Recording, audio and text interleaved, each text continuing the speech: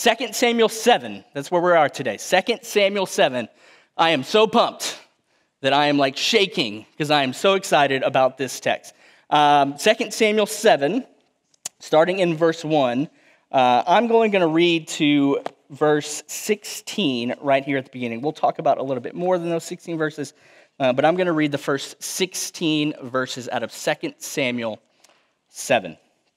And it should be on the screen as well, but if you have a copy of your own scripture, I'd encourage you to follow along there. I'm reading out of the ESV. It says, Now when the king lived in his house, and the Lord had given him rest from all his surrounding enemies, the king said to Nathan the prophet, See now, I dwell in a house of cedar, but the ark of God dwells in a tent. And Nathan said to the king, Go, do all that is in your heart, for the Lord is with you. But that same night, the word of the Lord came to Nathan Go and tell my servant David, Thus says the Lord, Would you build me a house to dwell in? I have not lived in a house since the day I brought you up, I brought up the people of Israel from Egypt to this day, but I have been moving about in a tent for my dwelling. In all places where I have moved with all the people of Israel, did I speak a word with any of the judges of Israel, whom I commanded to shepherd my people Israel? Saying, Why have you not built me a house of cedar? Now, therefore, thus you shall say to my servant David, Thus says the Lord of hosts, I took you from the pasture, from following the sheep, that you should be prince over my people Israel. And I have been with you wherever you went, and have cut off all your enemies before you. And I will make for you a great name, like the name of the great ones of the earth. And I will appoint a place for my people Israel and will plant them so that they may dwell in their own place and be disturbed no more. And violent men shall afflict them no more as formerly. From the time that I appointed judges over my people Israel, and I will give you rest from all your enemies. Moreover, the Lord declares to you that the Lord will make you a house. When your days are fulfilled and you lie down with your fathers, I will raise up your offspring after you who shall come from your body, and I will establish his kingdom. He shall build a house for my name, and I will establish the throne of his kingdom forever. I will be to him a father, and he shall be to me a son. When he commits iniquity, I will discipline him with the rod of men, but with the stripes of sons of men. But my steadfast love will not depart from him, as I took it from Saul, whom I put away from before you, and your house and your kingdom shall be made sure forever before me. Your throne shall be established forever. So, listen, we've been in this series for a while, and we have finally made it. You're like, okay, where have we made it? Is the series ending today? No, series is not ending today. What we just read is one of the most crucial and important moments in all of your Bible.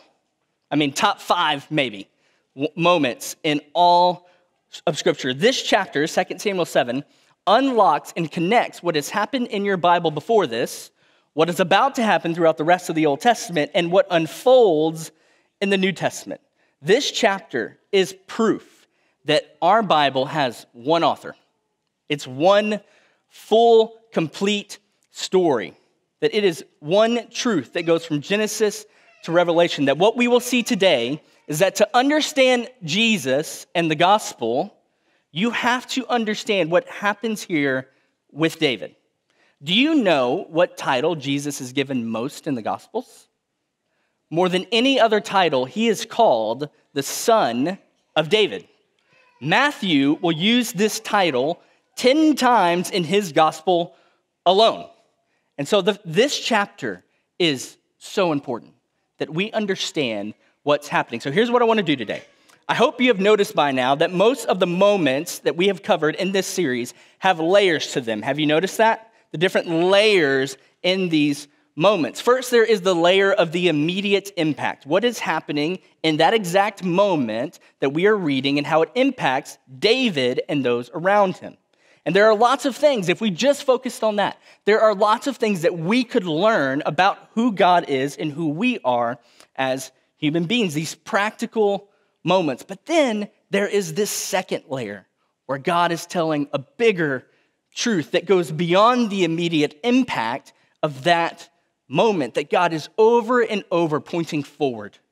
Something is coming. I'm going to restore all things. And the reality is, if we can understand the big picture of what God is doing, the perfect plan of God, it's going to make it easier for us to trust God in the immediate moments of our life. So today, we're going to look at those two layers and we're going to dial in on them. And so, first, we're going to look at what is specifically happening with David in 2 Samuel chapter 7 and what we can learn from that encounter. But then we're going to expose this second layer that has massive implications, not just practically, but as to how we are to think about the grand, eternal plan of God.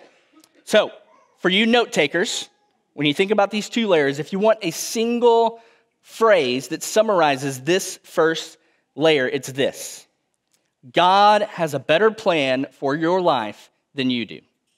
God has a better plan for your life than you do. Most of you have probably heard the phrase before um, man plans and God what?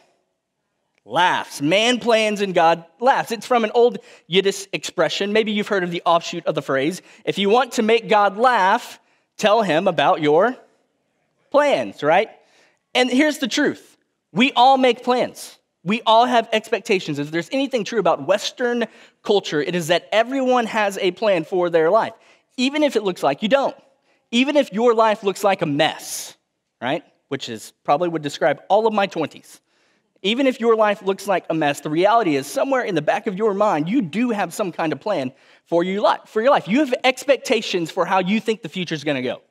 When I worked with college students, um, I would meet with every senior at the beginning of their senior year, and the co- most common question to ask a senior is, What are you going to do when you graduate? And so I would ask them that question, and they would have one of two responses.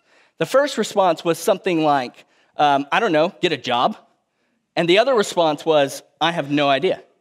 There are these super overachievers, like this 1% of students, that would walk in and they would have like a 20 point power presentation and it always ended with them taking over the world. But that was not the norm. All right, maybe that's some of you. Okay, um, but most of these seniors had no kind of practical plan for what was next in their lives, and so I eventually changed the way I asked the question.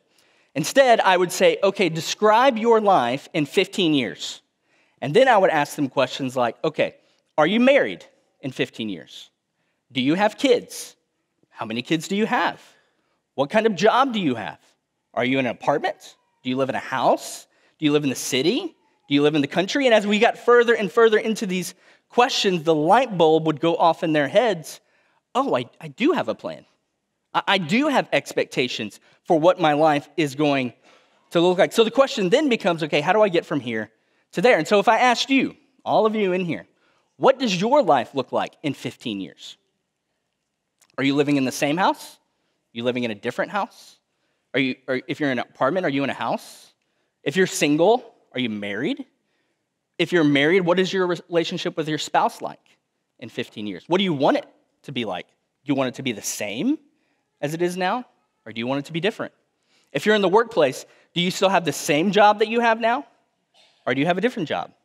For those that have kids, what are your kids like in 15 years? Are they in high school? In college? Are they married? Do they have their own kids? What is your relationship with your kids like in 15 years? See, even if we don't realize it, we have expectations.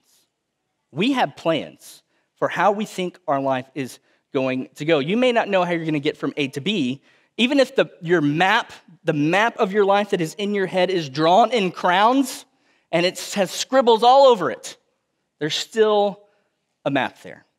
And at this point in David's life, when he sits in his palace, there are no more battles to fight. So what does he do? He begins to plan. He begins to draw up expectations. So he sits comfortably in his palace. And then, verse 1, it says, The king lived in his house, and the Lord had given him rest from all his surrounding enemies. And the king said to Nathan the prophet, See, now I dwell in a house of cedar.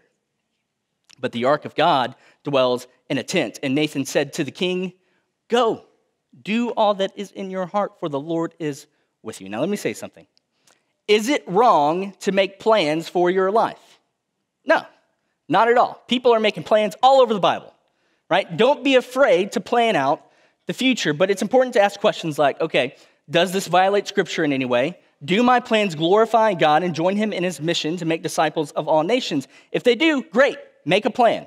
And here we see David make a plan, and the prophet Nathan says, Great, do all that is in your heart. God is with you. See, I say that because sometimes we paralyze ourselves waiting for some sort of special calling from the Lord. We sit around and we wait. God, can I eat now? Can I go do this now? And we sit and we sit and we sit, and God's already told you what to do in His Word. So if you don't have any kind of special calling from the Lord, you need to know that's okay. If your heart is in step with the purposes of God, then do what is in your heart. That's what David does.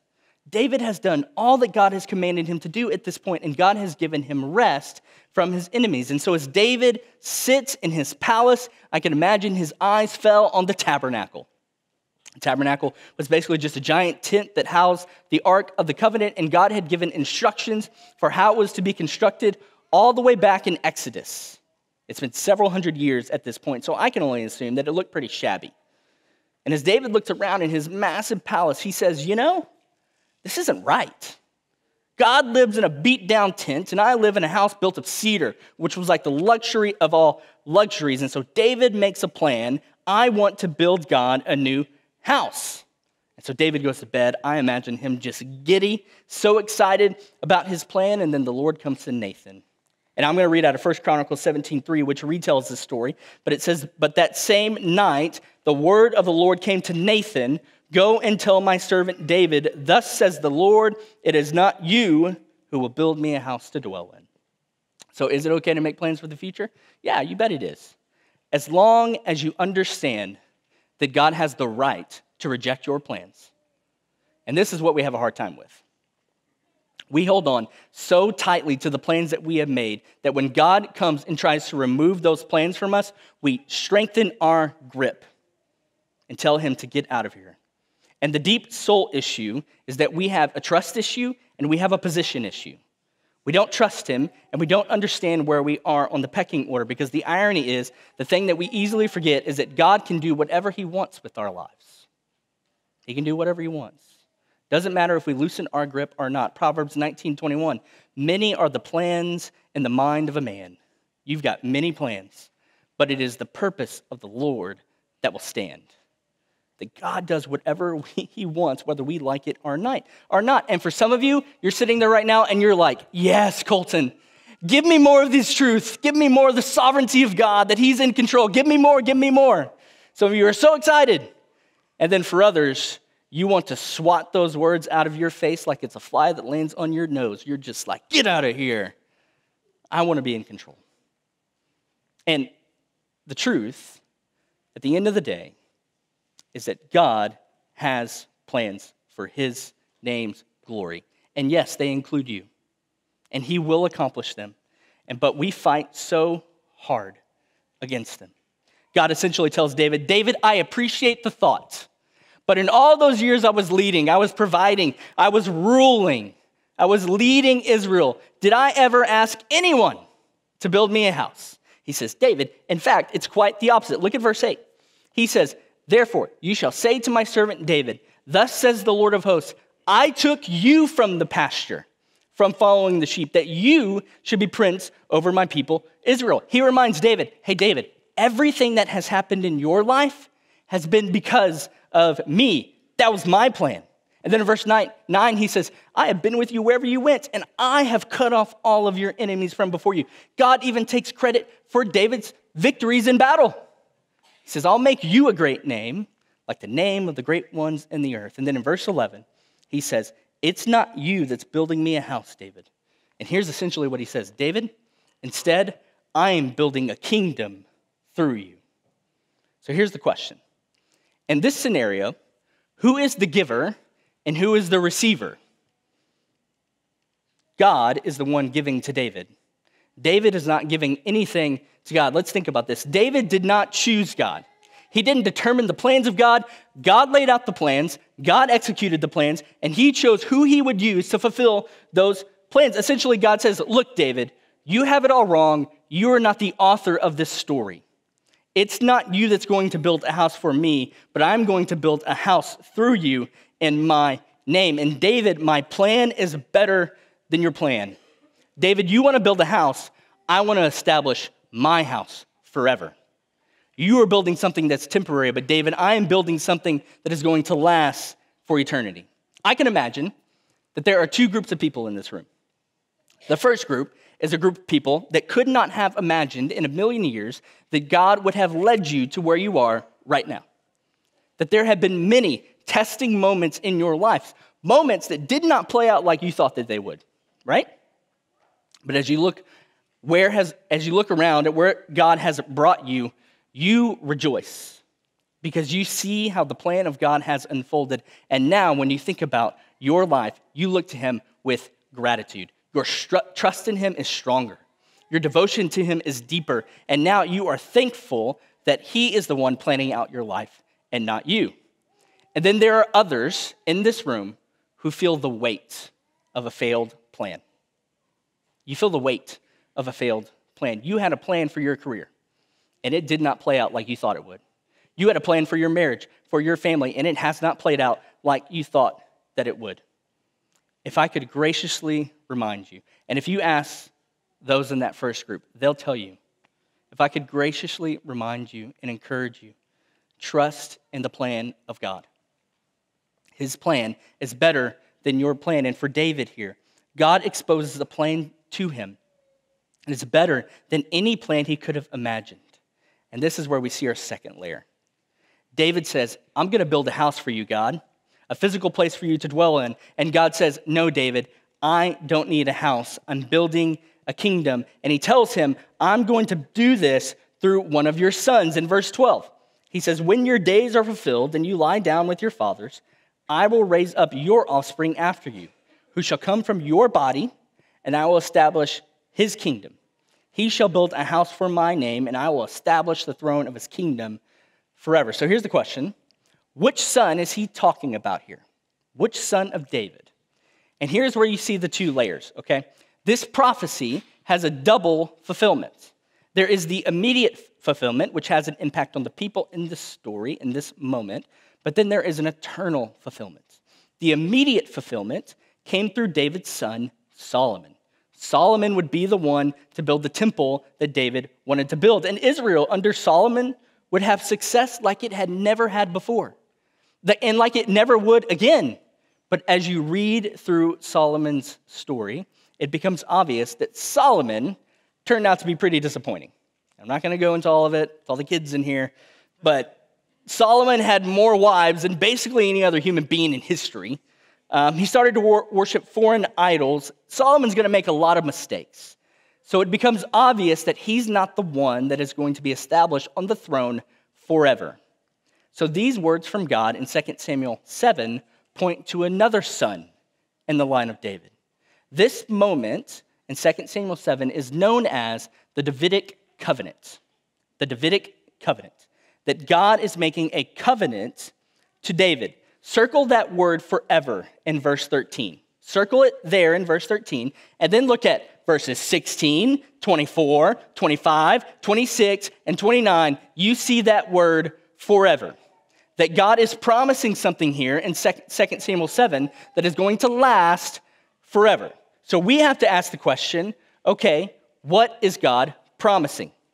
In order to, in, in order to understand that, we have to understand what has happened before this and how this all fits within the grand story of God. So if you'll walk with me, and if you're a note taker, I want to apologize in advance, okay? Because we're going to move fast. Um, there are four covenants that happen in the, there are more covenants than that, but there are four specifically that I want to mention today.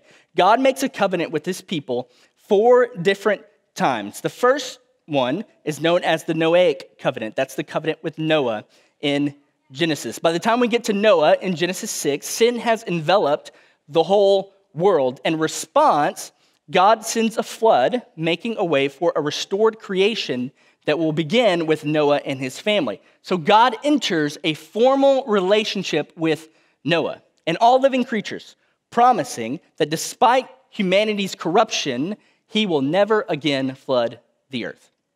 He seals this promise by giving humanity a rainbow, symbolizing this promise by God, and he makes it clear that his intent is to preserve the world as he unfolds his plan to rescue humanity through the offspring of a woman. That promise was given in Genesis 3. And then in Genesis 9 through 11, the evil of the world continues to build and it gets messy. And we are left wondering how is God going to restore what was lost in Genesis 1 and 2? And he makes a covenant with someone named Abram. All right, he makes a covenant with Abram that takes place in Genesis 12, 15, and 17. This covenant is called the Abrahamic covenant. He promises Abraham, hey, Abraham, through you, all the families of the earth shall be blessed. Remember the promise that we talked about in this series? Someone is coming. Someone is coming. Abraham, through you, someone is coming. Through your line, someone is coming that is going to bless the whole earth. And then when we get to Exodus, the descendants of Abraham have been enslaved by Pharaoh in Egypt, and God hears their prayers of suffering and calls Moses to be his representative and to lead the people out of slavery and to freedom. And God takes them out of Egypt into the wilderness. Moses ascends a mountain and meets with God, and on that mountain, God promises to make Israel into a kingdom that will spread God's blessing and glory to all the nations, and God establishes his law and promises blessings if the people of God will follow these laws. This is known as the Mosaic covenant, the covenant with Moses. And in that covenant, he, God encompassed the means by which humanity and God could be in fellowship.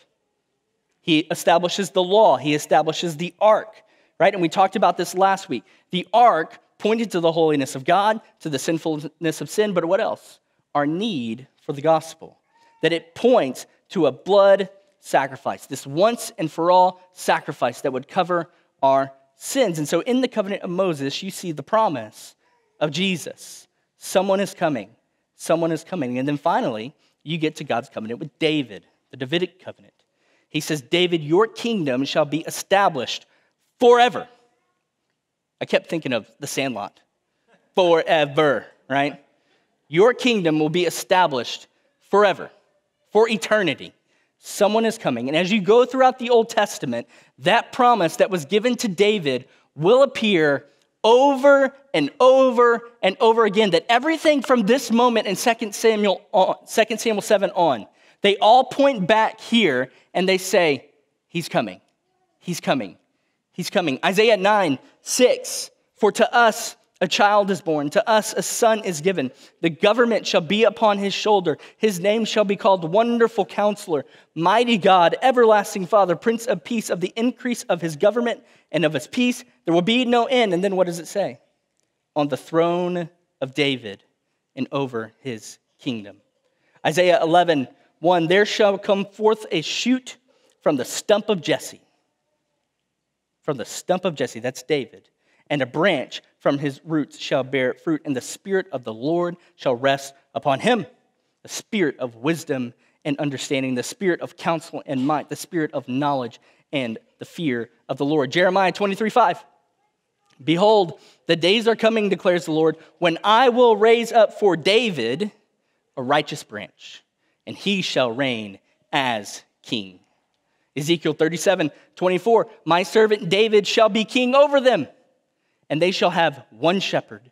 They shall walk in my rules and be careful to obey my statutes. They shall dwell in the land that I gave to my servant Jacob, where your fathers live. They and their children and their children's children, children's children shall dwell there forever, ever. And David, my servant, shall be their prince forever.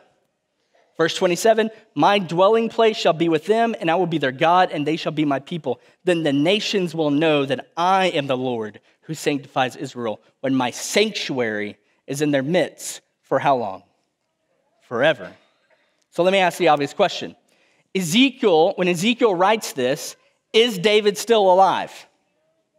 No, he's been dead for a very, very long time. So who is he talking about when he says, My servant? David, how will God's sanctuary be in their midst forever? Ezekiel says, Hey, the house of David's coming. And through the house of David, God is going to dwell among you. And as the Old Testament closes, you see God's people clinging to a promise that was given all the way back in 2 Samuel 7 that one day a Messiah, an anointed one, was going to come from David's line and establish the king of God. And for 400 years, there was silence. God did not say a word. And they were waiting for an advent, for the coming of the Messiah, waiting for the Davidic king who was going to establish God's kingdom forever. And then finally, you get to the book of Matthew. And Matthew 1 1, it says, The book of the genealogy of Jesus Christ, the son of who? David, the son of Abraham. You ever noticed when the angel comes to Mary? Um, Luke 126. Listen to this encounter. I don't know if you've ever caught this. And the sixth month, the angel Gabriel was sent from God to a city uh, of Galilee called Nazareth to a virgin betrothed to a man whose name was Joseph of the house of David. And the virgin's name was Mary, and he came to her and said, Greetings, O favored one, the Lord is with you. But as usual, when an angel runs into you, you're like, Ah, but she was greatly troubled at the saying and tried to discern what sort of greeting this might be. And the angel said, Hey, do not be afraid, Mary, for you have found favor with God. And behold, you will conceive him in your womb and bear a son, and you shall call his name Jesus. Look at verse 32. He will be great, and he will be called the Son of the Most High, and the Lord God will give to him the throne of his father, David. And he will reign over the house of Jacob for how long? Forever. And of his kingdom there will be no end. One more, just one more. Revelation 5, verse 1. At the end of all things, John says, Then I saw in the right hand of him who was seated on the throne a scroll written within and on the back, sealed with seven seals. And I saw a mighty angel proclaiming with a loud voice, Who is worthy to open the scroll and break its seals? And no one in heaven or on earth or under the earth was able to open the scroll or to look into it. And I began to weep loudly because no one was found worthy to open the scroll to look into it. And one of the elders said to me, Weep no more. Behold, the lion of the tribe of Judah, the root of David, has conquered. He has conquered so that he can open the scroll and its seven seals. Jesus, the King, the root of David, will be worshiped one day by every tribe and every language and every tongue in every nation. And the question is okay, well, what happened between Acts and Revelation? The kingdom of God came because the king came, King Jesus.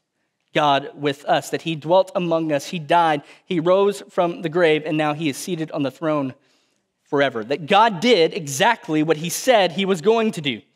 He blessed all the families of the earth, covenant with Abraham, fulfilled. Forgiveness came through that once and for all sacrifice. Covenant with Mo- uh, Moses fulfilled. And the kingdom of God was established forever through the root of David. Covenant with David fulfilled. And so the question for us that we have to ask, seeing the grand story of God, okay, whose plan are we trying to accomplish in our lives? Ours or God's? The reality is, some of us right now in this room are trying to build on our foundation. On our foundation. We're trying to build our lives on our own foundation and not on God's. You're trying to build a kingdom that's built on what you can do, a foundation that's built on what you think your family should look like, a kingdom that's built on what you think your finances should look like, a kingdom that's built on how you think others should see you. And all those things may not be bad things, but they're lesser than the plan of God. You want to build a house for God, you want to do good. And in order for you to build his house through you, his kingdom through you, God has to break your old foundation up. And some of you are feeling that right now. That he's got a sledgehammer and he's destroying your foundation. But he's doing it so that he can build something new. And listen, it's going to be painful for a time. It might be the hardest thing you ever have to go through. I've been there. I don't say that with a naive spirit. I'll tell you all about it. The breaking up of the foundation that you've built might be the hardest thing that ever happens in your life, but it will be the best thing that's ever happened in your life. You know what I think might be the hardest lesson for us to learn in this life? That your life is not about what you can give to God. It's not about what you can give to God. This life is about what God has given to us. The most difficult lesson for us to learn might be that we have nothing to give to God. That's hard because we want to earn things. That we are the receivers in this relationship, that He doesn't build on your foundation. We are built on His, and that cuts to every ounce of pride that we have. All right, so you might ask, okay, Colton, great, great speech, but like, what do I do? You ever felt like that? Someone goes through this long thing, you're like, okay, just tell me what I do. what do you want me to do? Um, you're telling me that God's plan is better than my plan. Jesus is the fulfillment of the Davidic covenant. His kingdom shall be established forever. But, like, what do I do, like, right now? Let me tell you two things. Two things that we should do. First, sit before the Lord and enjoy his grace. How should you respond to this? Sit before the Lord and enjoy his grace. Look at verse 18. Look at verse 18. After God has laid out his plan for David, what does David do? It says, Then King David went in and sat before the Lord.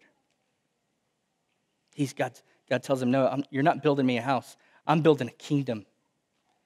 So David goes in and he sits before the Lord and he says, Who am I? O Lord God, what is my house that you have brought me thus far? This is King David. This is the king of Israel. And what does he do? He sits like a child before the Lord. He sees the grand plan of God. He hears about the grace of God. And he goes in and he just sits with his father. And he prays and he worships. You know what David's experiencing here? Grace. It's that moment when you stop and you remember, I am nothing without the grace of the Lord. Think about it. Chapter 7 starts with David wanting to go and do for God, and it ends with David worshiping God and all that he's done for him. And that is the essence of the gospel. It's not that we go and do for God, but it's that we are filled with worship because of the great things that God has done for us. And it's not like David's going to go and do something bad. He just wanted to build a house. The tent looked shabby. And here's the mistake that David made he thought that God needed him. He thought that God needed him. As if David's actions could make God a better God, as if having a better tent would make God a better God. And what I love about this moment is God lays out his plan. He's making it clear look, David,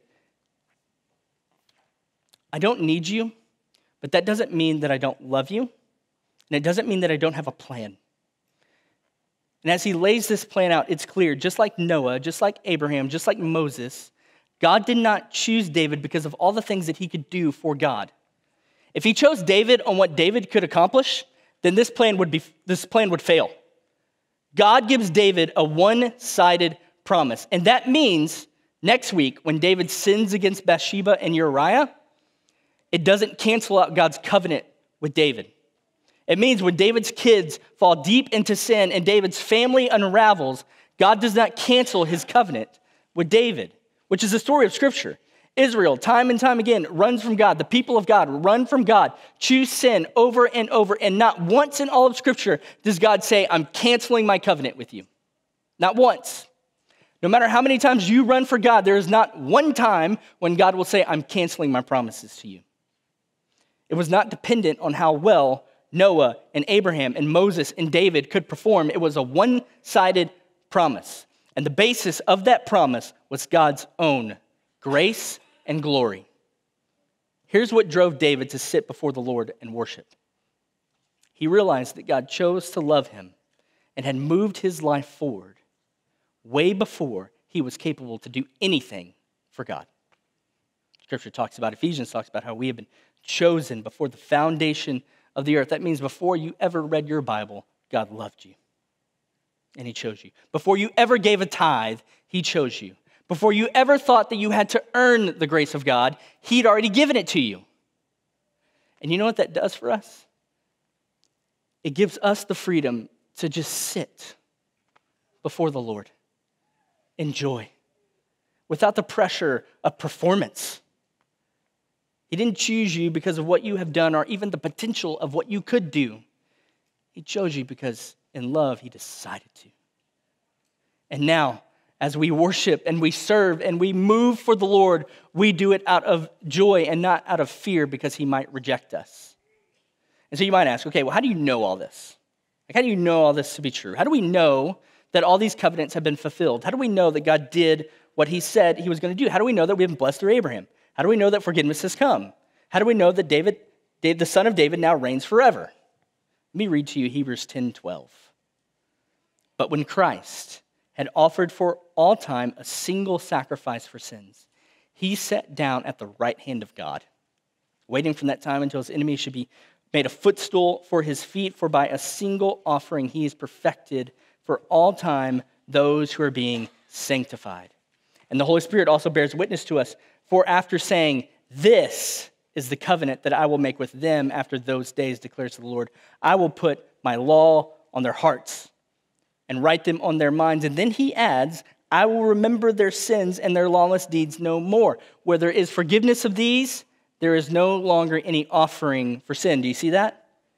Stop making offerings for your sins. You're trying to accomplish what has already been done by Jesus. Verse 19, therefore, brothers, since we have confidence to enter the holy places by the blood of Jesus, that we can freely sit before the Lord with confidence by the new and living way that he opened for us through the curtain that is through his flesh.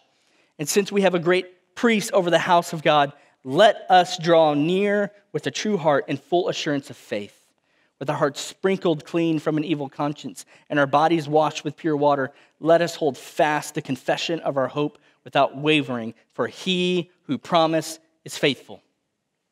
So, what should you do? The first thing I would say is just go and sit before the Lord and have peace with that.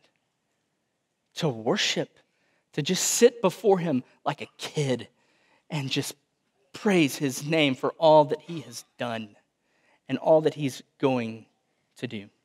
What's the second thing that we should do? Second thing I would say is we should do what David does excel at the revealed things of God when you're not sure what to do in life, when you're not sure what the right decision is, when you don't know what plans to make, set your eyes on the things that God has revealed to you. God has already revealed to you in His Word what you should be doing. It's interesting, in 1 Samuel 22, that's what David does. That's what David does. Our first Chronicles 22, David says, God, I want to build you a house. God says, Nope, I reject that plan. And so God tells him, It's not you that's going to build my house, it's your son, Solomon. So, what does David do with that information? He excels at the revealed things of God. David goes on to make sure that Solomon has everything that he needs to build God's house. Look at 1 Chronicles 22, verse 3. It says, David also provided great quantities of iron for nails for the doors of the gates and for clamps, as well as bronze in quantities beyond weighing. Down verse 5, for David said, Solomon, my son, is young and inexperienced, and the and the house that is to be built for the Lord must be exceedingly magnificent, of fame and glory throughout all lands. I will therefore make preparation for it. So David provided materials in great quantity before his death. David hears the words of God and says, Okay, I'm going to excel at what you have revealed to me. It's not me that's going to build a house, but you say it's my son. So I'm going to get the best wood. I'm going to get um, the, the, all the nails. I'm going to get the best bronze, I'm going to make sure that my son has all that he needs, that he's equipped to fulfill the purposes of God. You don't know what God's plan is for your life, and that's okay. That's, a, that's okay. Excel at the revealed things that he's given you. Love him, glorify him, love people, love your neighbor, make disciples of all nations, flee from your sin. Flee from it and run to him and sit before him as a gracious and good father. Father. Put off the old and put on the new. And I promise, man, if you excel at the revealed things in this in his word, then we will find peace in the things that are unknown. In those moments when we feel the weight, we look at the grand plan of God, what he has revealed to us, and we take a step back and we say, okay, I trust you. You are sovereign. You are good, and you are the king who sits on the throne forever.